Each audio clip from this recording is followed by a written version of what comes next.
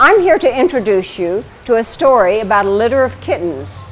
We refer to this litter of kittens as the El Fenix kittens, where two weeks ago, another volunteer and I separately discovered the litter of kittens that are living at El Fenix under this staircase, where there's a hole on the, on the side of the stairs that they go in and out, where we have a trap where we are attempting to trap the last wily kitten.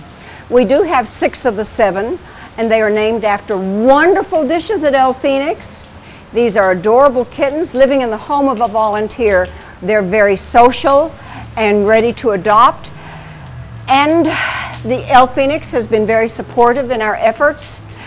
Apparently the servers occasionally come out and, and give food to the kittens, but the ELPO volunteers have taken over this task and we are going to trap and domesticate this last wily kitten.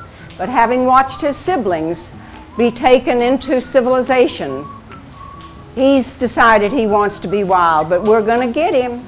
Thanks for your support for ELPO and our kittens, and our dogs, and our orphans in general.